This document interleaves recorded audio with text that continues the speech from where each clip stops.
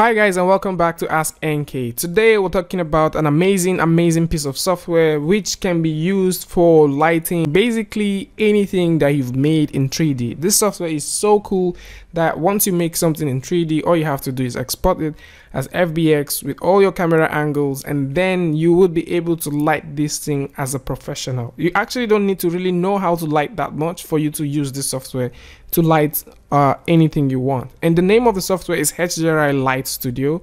And this is the carbon version, which is the most recent version that they have released. So I'll go ahead and talk to you guys about the software, the pros, the cons, why you need it, who needs it, and what for. So let's get started. Once you open the software, you'll be welcomed with a UI that looks like this. All right. This UI is so cool, so amazing, straight to the point. But I have some certain things that I'm going to talk about that I wish they have that they don't all right so and here is where you design your HDRIs this is where your all your light presets are and this doesn't come by default you actually have to download these presets you know to install them. And this is one thing I wish comes by default right? So here is also where you preview the lights you're designing. I actually don't know why they have two of these. I think maybe one should be better. Like instead of having two of these i guess maybe they can just have this one and take all of these properties and position them there. Here is where you see all the list of the lights that you have. It makes a lot of sense to have this here. Here is the light control for quick light controls. So you just click and control the light, click and control the light. These are where all your light tools are and these are this is your menu. So typically it is a light studio thingy just like the name says so once you have your model you can you know test render this thing here or you can light this thing here and the very cool thing with this software is they have plugin for virtually every app that exists out there on the website they have some very certified plugins like for 3d studio max for i guess rhino for uh, maya and all that but uh, for some other softwares, they actually list them here, but they don't have like dedicated full heads on plugin on their website for that. So that is one downside for me. I think maybe if you're going to support every software, you should put some sort of generic thing, the same way Keyshot has its own, and the same way, you know, you can do that with ZBrush. So next up, which I am going to talk about is how you can look things up here. So for you to start, you need to just simply press the playback button. And right now we're going to actually load up a scene later, but now I'm going to talk to you guys with these are the ones that exist. So we can start up with a kettle or a watch. I think a watch is cool. So we can start up with this default watch. So you can see this default watch in its amazing state and by default this is IPR so it constantly renders this so it's progressive and it is rendering at every single point in time and this brings me to the point where I have to say I wish this software actually allows you to make camera movement so it doesn't have a camera of its own which simply means you cannot pan around the 3D object right you cannot rotate you cannot uh, you know all of those things you do with cameras you cannot do them there here is where you have the light so let's start designing so you can see how this works I typically don't keep these things here because I wish everything stays here. A lot of people actually keep their stuff here. It's like the first place you get to glance once you want to start working. So I typically uh, move all of these things here and maybe the help file can be right about this point because you know help you, have, you always go there. It's muscle memory.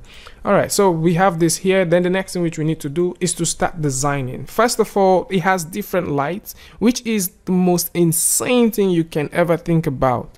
Although it's not that insane because the name says light studio but all the lights you can ever imagine to use for rendering stuff exist here all right so we're going to start off with a very soft one which is known as the bulb. So the bulb bulb is more like a point light is more like an omnidirectional light and so you can use uh, the bulb to actually paint light around your scene. And how this is done is you can take this paintbrush and you can just paint this light right here all right so we can put this light right about right about here. I'm gonna get the second one. And we can you know select another one and paint that one directly onto the surface and so we have these two lights happening there next thing which you may want to do is to come up with a rectangular light which is basically known in every other app as uh, an area light so you can use that and also paint this light from somewhere like this So you see things are beginning to look interesting. We can pick a hexagonal light, which is also known in some other apps as uh, an area light or a polygonal light. And then we can also choose to paint this somewhere like that. So let me just position this there. I don't know why it's not painting. All right, so we can paint this exactly somewhere like here. So cool stuff, cool stuff other lights exist so you can play with things like um like the gradient light here i guess this is it so we can play with the gradient light and choose how we want these lights to you know apply to our object so let's say i bring this gradient light right about there somewhere like here. Or maybe i can you know position this gradient light somewhere like here. I kind of like lights when they reflect on surfaces like this. Where did i do that? All right so somewhere like here. You can choose to put a gradient light there and once you do that you can come over to where you have the gradient color and change the color of the light so you can choose to change color of the light based on temperature or you can choose to also change the color of the light based on an image sampled color so you can also use numeric to do that. And here you have the, the color histogram where you can use to, you know, select lights and, and play with this.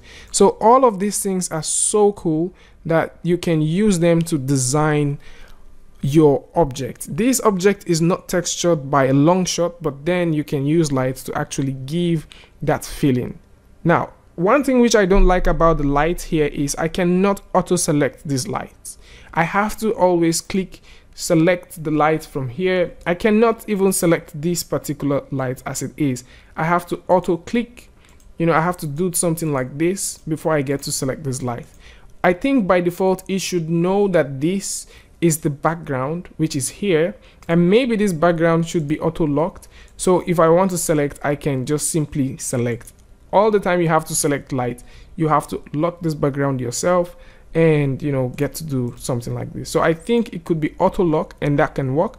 Another thing which i think is i know this is for positioning stuff around your scene but then once i am no longer uh, on this particular object and I click here, it should also auto select this object. But once I click there, you can see that that object bounces to that point.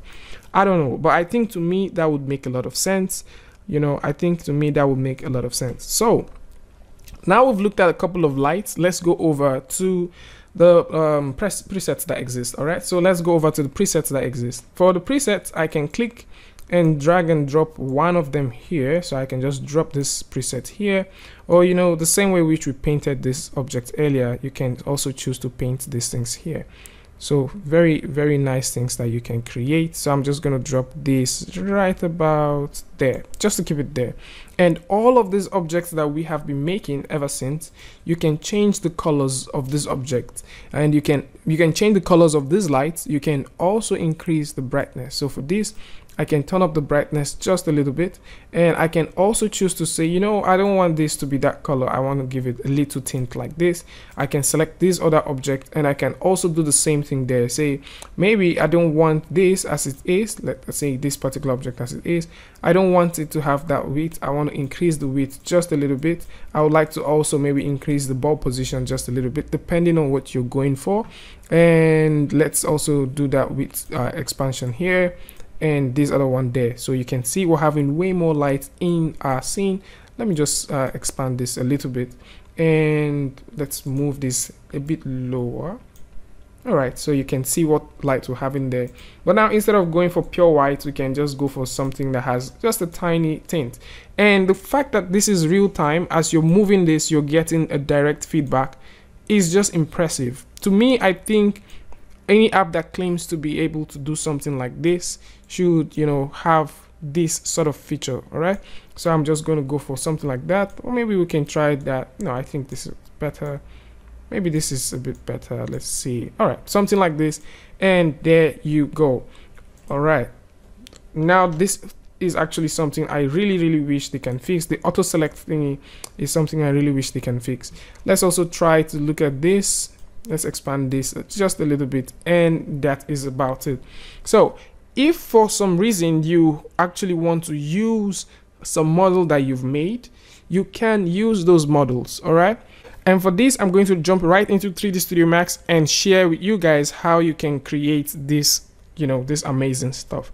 But before we actually go to 3d studio max and, act, and start doing that it's what's saying that this supports multi-desktop so this software supports multi-desktop which is super impressive that at any point in time you can just dock this out and plug it in a different desktop and use it for whatever uh, thing that you want. So yeah this does that as well. And at any point in time you can choose to paint light on different stuff. Like right now you know we've been painting light on just the reflection.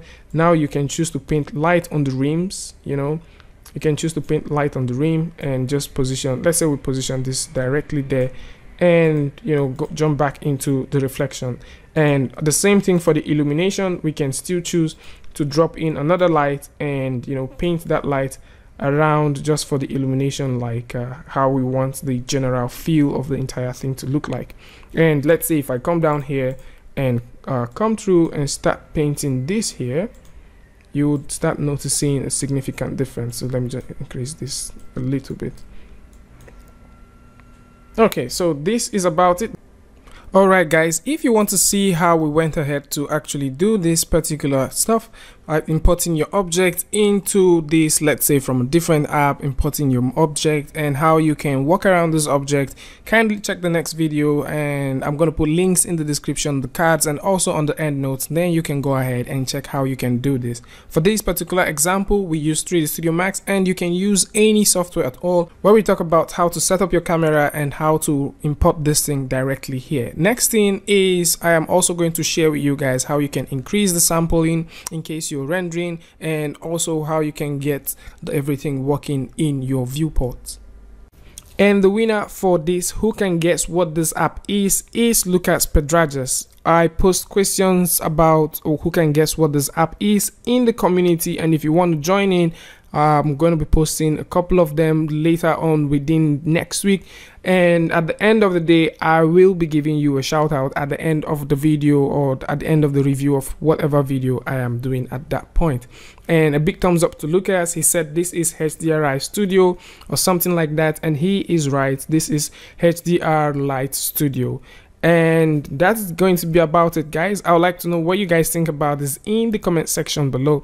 And if you like this video you know what to do. Hit the like button subscribe if you're not turn on notification and tell a friend.